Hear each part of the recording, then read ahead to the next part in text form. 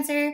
This is the video for Cancer singles, Sun, Moon, Rising, or Venus. Or also if you're looking at a Cancer, you're like, I want to hit it with that Cancer. And so you're just kind of like nosy and peeking into their life. So what can we expect for the month of July? How are Cancers seeing themselves this month in regards to love? Well, you are indeed single. Everything else is kind of working out in your life, and you have everything you kind of want except for that partner. But you're happy there, and um, there's nothing necessarily that needs to change except for to bring in that person, right? Now, how are other people viewing you in the month of July? Well, they're wanting to offer you love, but um, maybe you're not necessarily um, giving off the impression that you're interested in them, that a deep romantic bond could be formed. Now, that's something that you would have to um, change. So, how in fact do we do that in order to let love in? Well, it's going to be a decision or a choice. Um, if so, this I'm taking this a couple different ways. So it's a decision just to say, you know what, like make affirmations. I'm open to receive love. Okay, but then the other thing with this is that um, because we are so focused on like finally getting to this good place where it seems like everything's kind of aligned. We're organized like work is going good finances are going good like friendships all of these things are kind of falling into place. We're really really stable. And then it's like um so you know maybe relationships and meeting people we've kind of kept those things like at bay. Like okay i'm gonna go on some dates with you. I might uh have sex with you. But that's about it right? Um and it's like, this isn't actually, though, necessarily what you want, but you're afraid, as far as balance goes, if you give too much to um, like a new relationship or something like that, if you invest too much, then maybe everything else falls by the wayside. And they say it's okay to take things slow. We're not saying that that's not the right thing for you.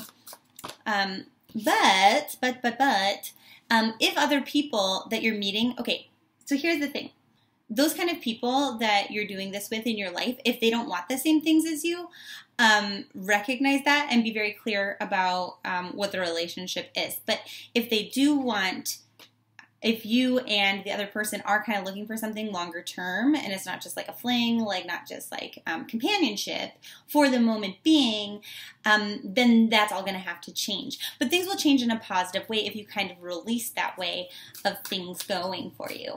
Now, what do you need to avoid in the month of July in order to attract love? Um, speaking without thinking. So every time you're going to say something, it's like take a breath, think about what you're saying, and then say it. And it's not necessarily like saying things out of anger either. It's just like trying to control your impulse, okay? Because the problem is that um, something from the past hasn't really made you feel super confident. And so it's like a defense mechanism, you know, where um, maybe somebody tries to compliment you. They say, wow, you look really great tonight and then you say, "Oh, you look really great tonight." You know what I mean? And um, it's kind of silly, but then they're like, "Wow, this person can't receive a compliment." Like, what the hell? Um, sorry about that interruption. Now, what can you increase? Or what can you do to increase or grow or attract love in the month of July? And it says, like, don't be defensive um, when other people ask you things, if they say like, "Hey, where are you? What are you up to?" That kind of a thing. Um, if they're asking you out, you don't have to defend why you say yes or no. Those kind of things.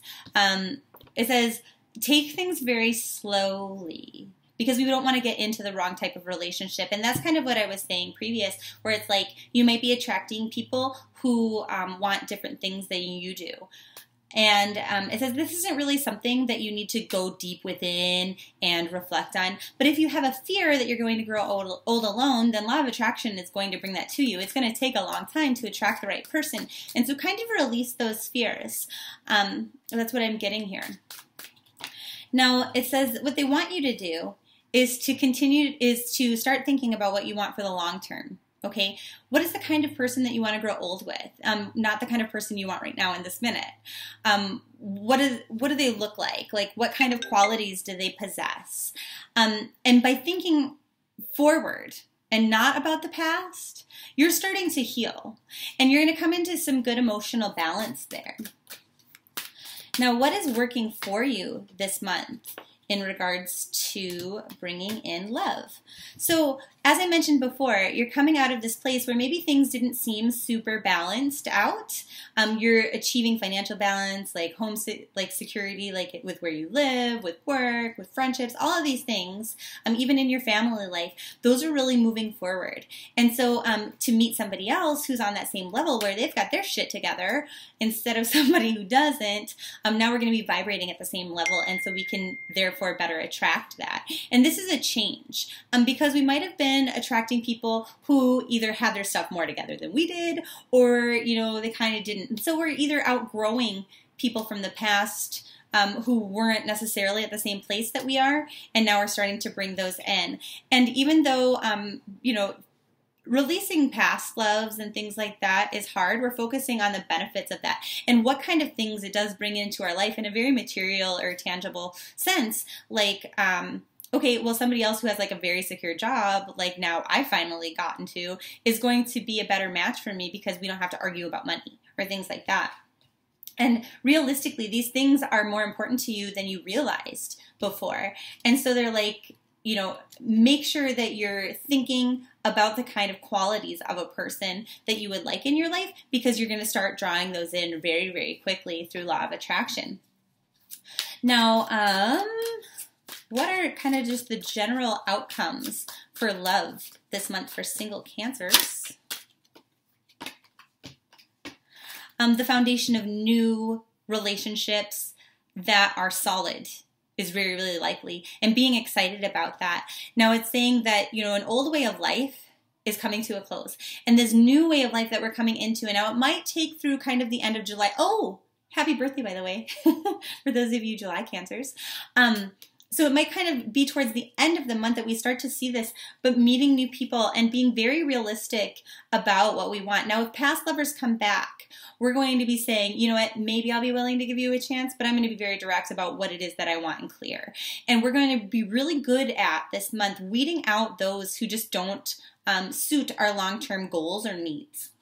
And it's like, we're going to, it, there's a affirmation that I pull cards for a lot of people on in private readings that says something like, I'm only attracted to those who serve my highest good. And this is going to be something that you kind of are living by in this month, um, even if it's accidental. And if it isn't kind of showing up for you, if you're kind of feeling suspicious or worried, maybe that's a good affirmation for you to use. I'm only attracted to those who um, serve my highest good. Okay? Now, what is the lesson that we um, are learning in the month of July in regards to love? And I'm getting cooperation. In your quest to manifest the energy of love, you realize that every person has experience and has value. So, learning from other people, getting to really know them before we kind of discount them. But that's what that card is about here with the Queen of Swords. It's like, okay, I'm going to hear what you have to say, and then I'm going to decide. I'm going to be open minded, but I'm not going to be stupid. And from that point forward, then I'll kind of know if we're on the same page or not. So, it looks like many of you will be manifesting and drawing in love relationships this month. So, good luck with that. Love and light. Bye.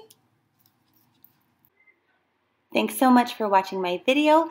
Check out tarot-blee-accurate.com for a personal reading. Follow on Snapchat, like on Facebook.